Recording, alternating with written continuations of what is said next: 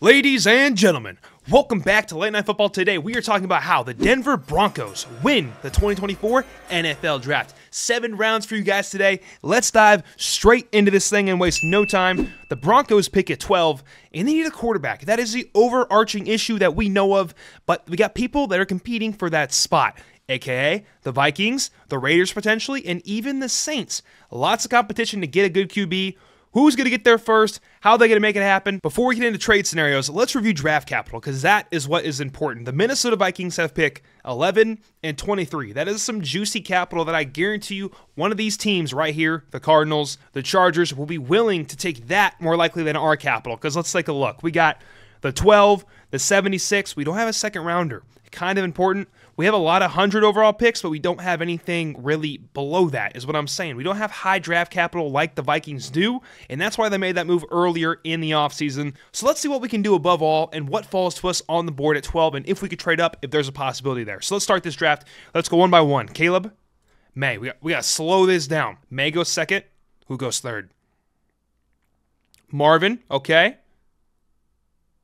Malik, Caleb went first, Maye went second, and then it was Marvin and Nabers. That means the Heisman himself has not gone. Now, do we think the Heisman and Sean Payton would mesh well? That's my question, and I don't see him trading up for Jayden Daniels. I don't think they're going to click quite together. Let's see how the board falls to us. While I am making all the picks today and being the executive decision maker, I don't want to give my coach a quarterback that he would clash heads with, so we're going to avoid this and see what falls to us at our pick. That is why I'm not trading up, just so you guys know. Let's let it run. Who goes? Rome. I'm guessing Daniels goes here. McCarthy ahead of Daniels. This is insane. Okay, let's just go all the way to our pick. Denver fans, we are on the clock. And guys, this is not how it will go down on draft day. We're not having McCarthy go before the Heisman and the Heisman fall all the way to 11. We know that. But the point is, we're on the clock. What do we want to do here? So we're in a scenario. We need a quarterback, but we also need to make sure the quarterback stepping into this team feels comfortable and he's surrounded with talent, because that is above all the most important thing whenever you get a new QB in the building. So let's take a look. We got Bo Nix and Michael Penix Jr. They're left here, but the two guys behind us, they want a QB and they want a QB. We do not have a second round pick. I am a true believer in we have to stack talent on this team before we bring in our QB. It's just logic, it makes sense. So let's see who wants to trade with us. We got the Seahawks at 16, not bad. Bengals, Carolina. We know Carolina likes to forfeit a ton of picks to trade up. And I would be willing to trade out of the first round if they gave me this, this, um, Throw me 65. You're not liking that as much. We'll throw you 147. I'm going to force this trade. The Panthers sent us 33, 39, 65, and we are sending 12 and 147. And I like this a lot. I don't know if this is even on the stat sheet, but we're going to make it happen. We're forcing this trade. We're going all the way back and picking at 33 overall. I will see you guys there. We are back on the clock, Broncos fans, and there's a reason I traded the 33 and not any farther. Look at that. We are right in front of the Bo Nix wanting Patriots. They got Marvin Harrison Jr., and now you know they want to take Bo Nix here. That's why we did it. We did it on purpose. Bo Nix, you are a Denver Bronco. Welcome to the team. Him and Sean Payton are going to mesh very nicely. And we pick again in about five picks, and we're going to get hopefully a very good wideout. Let's see how this thing rolls out. We are back on the clock six picks later. What do we want to do here? We need a center. We need a wideout. We need an edge. We need a corner. The value is just everywhere. There's a center. There's a corner. There's a receiver and plenty of edge prospects to come. Now, with the talent, I know it's on the board. Receiver, I think if we wait on receiver, that'll work out to our advantage with the amount of depth in this class. So let's shift gears. Let's take the best prospect on the board. That is either going to be Chop Robinson out of Penn State. This dude's just an athletic freak, or these top two. We got Zach Frazier or TJ Tampa. We just got a quarterback we need to protect our quarterback. That is the most important thing here. Zach Frazier is going to be our brand new center for the Denver Broncos, and I'll see you guys at pick 65 overall. Broncos fans, we have got our QB. We have our center. We need to fill these positions. We know that. We just traded away Jeudy. So I'm going to lock up a wideout right here. We need him bad. I told you we would punt the position all the way to pick 65, the first pick of the third round, and we're definitely going to take one right here. Devontez Walker, Javon Baker. I like Jalen too, but I like these guys more.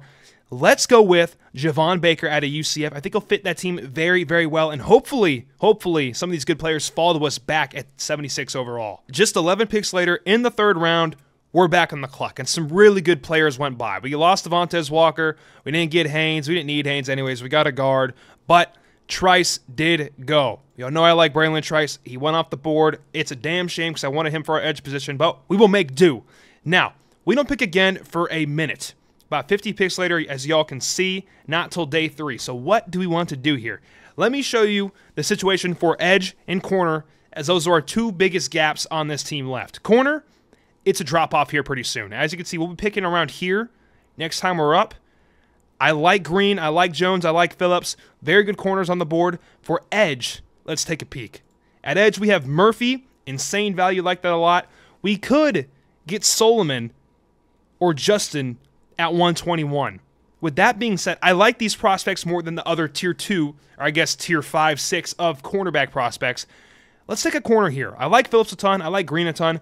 Let's go with Phillips on the board and fill that position of need for the cornerback group. Back on the clock, and guys, what we wanted to happen, it happened, baby. We wanted Justin or a good edge prospect to slide to us all the way here at 121, but you cannot forget Mohamed Kamara out of Colorado State. He's not the biggest dude, but this guy gets after the passer. He is damn good at what he does. These are both great prospects, and let's go with Mo Kamara. I like him just a little bit more than Justin. Very, very good prospect, and we pick again in about 10 picks. Let's make it happen. Let's do this thing. Back on the clock, and the Broncos are going to make a very nice pick right here. We pick at 136, 145, and 203 and 207. So we got four picks left. Let's review what we've taken so far. I think that's important to look at. So we were in the first round.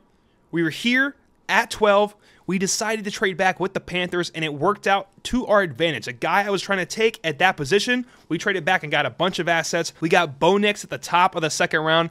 Then we filled our center need in Zach Frazier. Love those back to back picks for the Panthers right there. That's why we stole them right from him. Now, our next pick, Javon Baker, the wideout out of UCF. On to our next pick, which was Andru Phillip, the cornerback out of Kentucky. Next, we took Mo Kamara out of Colorado State. And here we are, the very top of the fifth round. What do we want to do here? I was scanning across here. There's a player that had a good 2022 season, but not the best 2023. He's good in press. I think Josh Newton has got tons of potential. Look at Look at this evil drop off. At one point, he was going to be the dude. Stuff changed as the season went on. We know the potential's there. We already got one, but let's get another. Josh Noon, welcome to the squad. I will see you guys in 10 more picks at 145. We are in the late rounds of day three. Do you know what that means? We're taking value. We cannot fill needs with day three picks. Eventually down the road you can, but most of the time these guys are very developmental. Rarely you hit on a day three pick immediately out the gate, but let's see what we can do here. Will Shipley, Ben Sinnott, Gray. There is one that catches my eye, especially for development. Maason Smith, coming out of high school, was a five star prospect. This dude in 6'6, 315. Absolutely insane. He never quite developed in what he was supposed to be, but a good coach, and I trust my coaching staff. I trust the Broncos coaching staff, right? A good coach can make this guy an absolute phenomenal player. And I trust our coaching staff to make Maason Smith that dude and a great pick late on day three onto our team. Maason Smith, welcome to the squad. I'll see you guys at the pick 203. We got two picks that are basically back to back 203, 207. Let's wrap this draft up. Anthony Gould, we need more wideouts, and I think that's what we're going to take here. Yeah, yeah, we're doing it. We're going Anthony Gould, and let's go to our next pick here at 207. Who do we want to take here? A couple guys went off the board. There goes Frank Gore Jr., Hopper, and Brennan Jackson. Where is the value across this board? I'm going to go with there's Jalen Ford, Coker. Let's go with Julian Pearl out of Illinois. Let's get another tackle in that O line room and let this guy develop over time. Broncos fans, this is my mock draft. Let's review, baby. So, in the first round, we decided we don't want to take Bo Nix here. We can get the value we want because we don't have a second rounder this year. Let's go get two second rounders back to back at the top of the second round, may I add, and just dominate this draft. We trade back with the Panthers. We leave 12. We send them 147 as well. We get 33, 39, and 65. What a move. With that, we begin to build our core. Bo Nix at the top of the second round. We got our quarterback. Zach Frazier, arguably the best center in this draft. Javon Baker, a killer wideout prospect.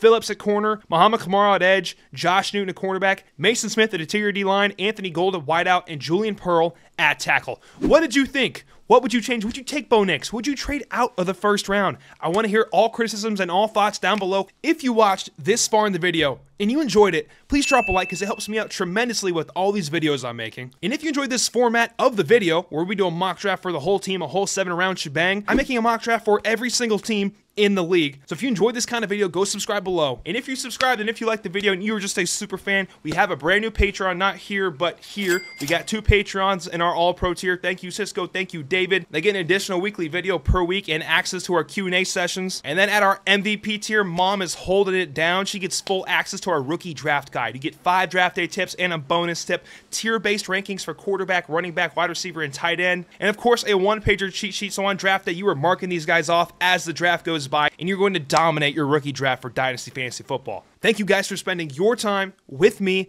on this seven round mock draft video for the Denver Broncos. Appreciate you guys more than you know.